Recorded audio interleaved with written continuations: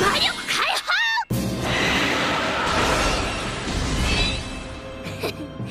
くっくっくこれが我の真の姿だ。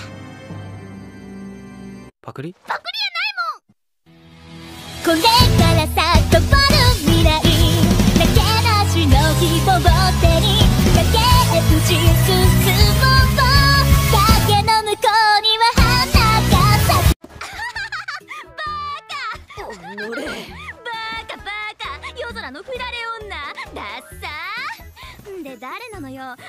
振った相手は夜空がうんこだってことをちゃんと見抜くなんてなかなか人を見る目あるじゃない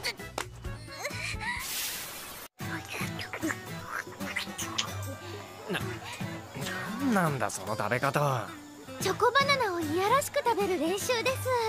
興奮しますか？しねえよ。待たせたな。くっくっくご苦労やはり処女の生き地は格別だ。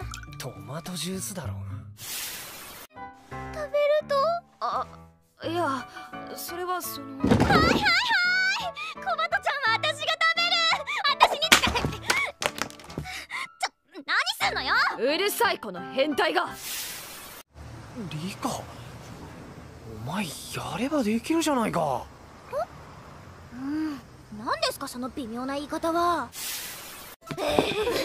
お嬢ちゃん今どんなパンツ履いてるの？さお前らな。あ脱ぎ脱ぎしましょうね。どうやったらコバトちゃん攻略できるのかしら？いい加減にしろ。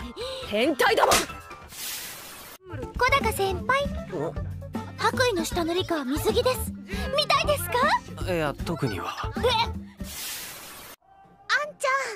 ゃん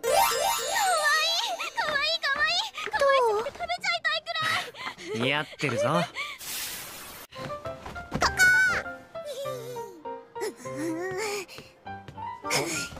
私もこ。ちらにプールううちも行きたいコバトちゃん。プールに行きたいのじゃあ私とプールに行きましょうキモいぞ肉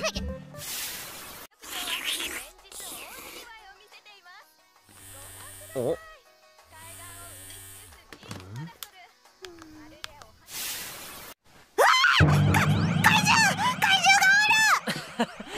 大丈夫だ。そいつは。俺様お前丸かける。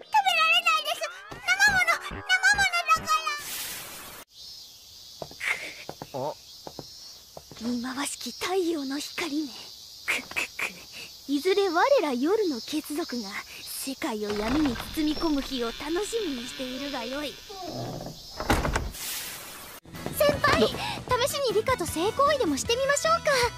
何を言っているのだ貴様はハレンチな隣人部ってのはここね。入部したいんだけど。違う。玉ねぎもちゃんと食えよ。ほら。うん。よろしい。どうです？今のラブマイクフィニッシュましたか？来ねえよ。物欲しそうな顔をしたこのアバズレめそんなに欲しいなら誠意を見せてみろ。誠意？ってあ足なんて舐めないんだからね。もういいわよ。夜空のバカ私は家令のステラと申します。カレー？まじまじと見つめないでください小高様。子供ができてしまいます死ぬのは貴様だ。俺様お前ボリボリ食べるボリボリ食べる。その辺にしておけ。夜空我と部活とやらどちらが大切なのだ？